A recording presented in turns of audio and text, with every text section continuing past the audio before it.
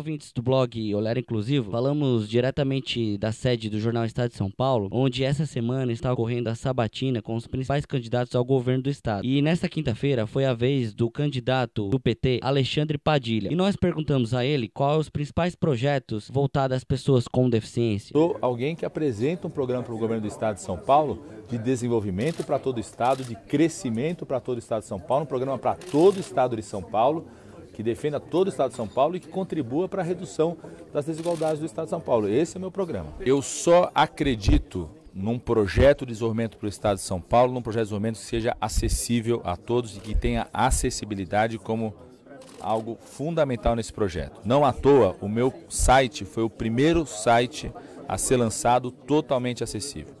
Não à toa, no pouco tempo que fui ministro da Saúde do país, durante o governo da presidenta Dilma, criamos o programa Viver Sem Limites.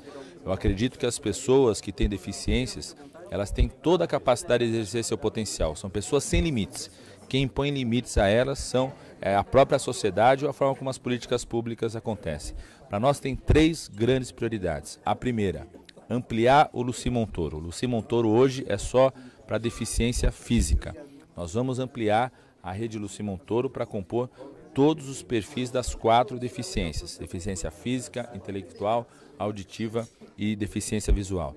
Segundo, educação inclusiva. Escola pública estadual vai ter sala é, é, multifuncional adaptada para quem precisar de sala multifuncional adaptada. Vai fazer parcerias com entidades, visitei entidades na Zona Leste, por exemplo, que hoje tem uma contribuição fundamental para o ensino fundamental do sexto ao nono ano de pessoas com deficiência e também do ensino médio. Nós vamos aceitar as crianças que têm qualquer tipo de deficiência nessa educação, então uma forte política de educação inclusiva na rede pública estadual.